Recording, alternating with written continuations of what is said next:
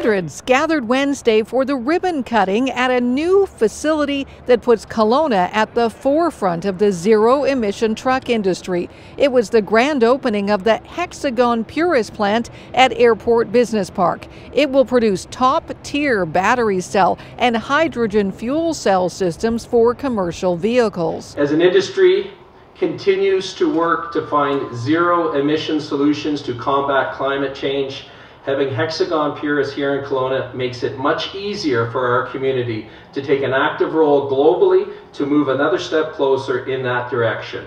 With this new facility here, you have a new opportunity uh, and also a challenge.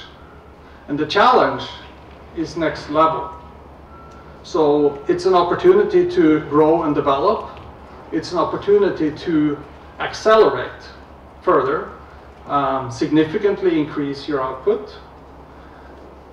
And it's the opportunity and the challenge to take it from kind of the garage to the industrial stage.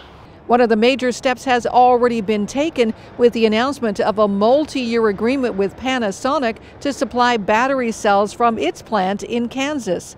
Uh, part of the supply agreement is we are committing to a $43 million contribution to Panasonic and in turn, they guarantee us cell supply through 2032.